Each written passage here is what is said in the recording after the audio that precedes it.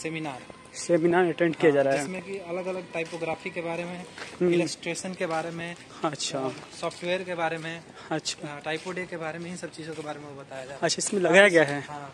एक बार आप इसे विज़िट कर लीजिए थोड़ा हम काम करेंगे। ठीक है ठीक है। ठीक है? ओके।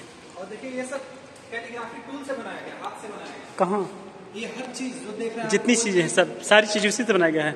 वो जो मैं आप दिखाया था ना लिख के हम्म, हम्म। वो सब उसी से बनाया गया है। ये सब हाथ से।